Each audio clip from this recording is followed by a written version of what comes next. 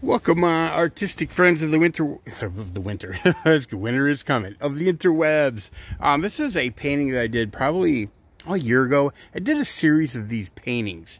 And um, what I was trying to accomplish was kind of like an urban kind of setting where you know, something that you might see on the side of a, um, a wall in a downtown environment, like in an alley or something. So I used spray paint and I used um, oil paint. And uh, yeah, this is what I came up with. I like this one. It's not my favorite of the bunch, but it's kind of cool.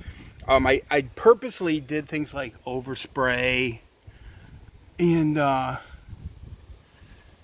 as you can see to give it that kind of urban feel in fact mostly I went I did the I did this on this particular one I did the the uh, flowers and the vase first and then I came back with, I want to say oil stick, like an R&F uh, pigment stick.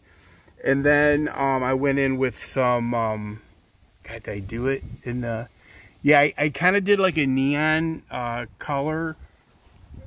Oh, God, it's been so long I don't even remember, to be honest with you. But I thought it turned out pretty cool. I've, um, I've got like, I think three of these that I really, really like. I left out like the drips. I did that purposely. Yeah, very, very, very urbanish. Yeah. You guys will have to let me know what you think. But I want to um, varnish all these. So that's something that I'm going to be doing very, very soon. I thought I would go ahead and film these before I put the varnish on because sometimes you varnish on to get you get a lot of glare and stuff like that.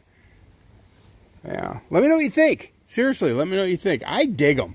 I, I don't know why I only did three of them. I think I did three complete, and then I got one that's almost complete, but I had to um, make some adjustments that I haven't gotten around to.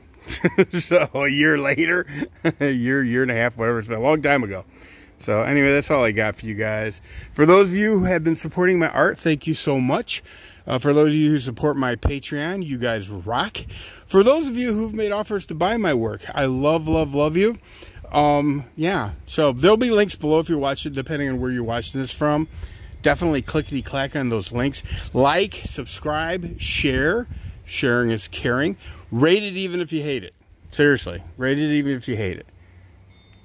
That's all I got for you guys. The bee is out.